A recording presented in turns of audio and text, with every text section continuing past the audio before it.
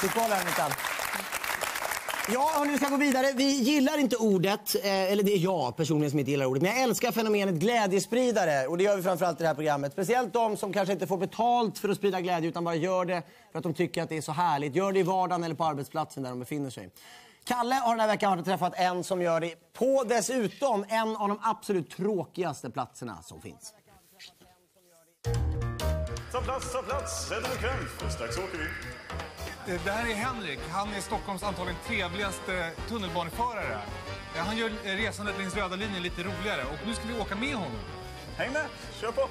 Jag skulle bli jätteglad om ni ville följa med se upp för dörrarna. Bara kläm ingenting, för vet ni vad, nu drar vi. Om man inte gillar kroppskontakt med snurvlande mobilgrejande främlingar så är det ingen höjdare att åka tunnelbana i Stockholm. Men åker man med Henrik så blir det faktiskt lite roligare. Varför är du så rolig och härlig i högtalarsystemet? Ja, alltså, det, det är ju för att glädja och sprida den glädje jag känner inom mig. Alltså, jag gillar att eh, prata i mikrofoner eh, rent allmänt.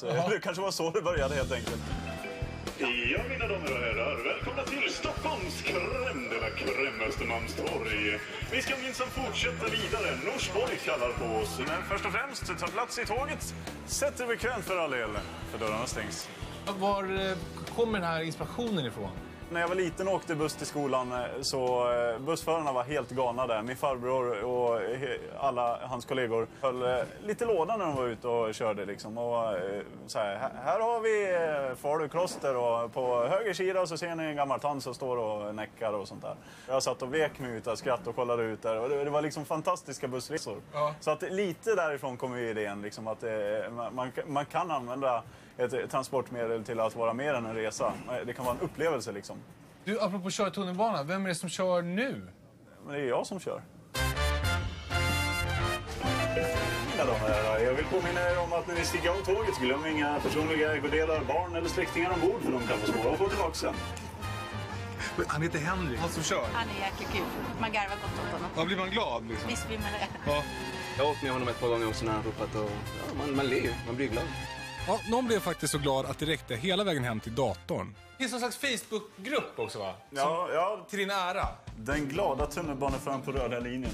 Det, det står här. Han har den öppen här som av en händelse. Är det här hur många som gillar den? Ja, 6998 personer har likat Henrik på Facebook. Det måste vara lite som att vara rockstjärna det här. Folk har känt sig trygga i mina tåg. Även om det är några som trott att jag har varit full några gånger när jag har kört också. Och till och med Alltså- ringt, in till trafikledningscentralen. Ja, den här föraren, han är full. Bara för att du låter så glad. Ja, ja, absolut. Ni får ta hand om varandra. Ses vi som sagt snart igen. Ha det bra. Trevligt.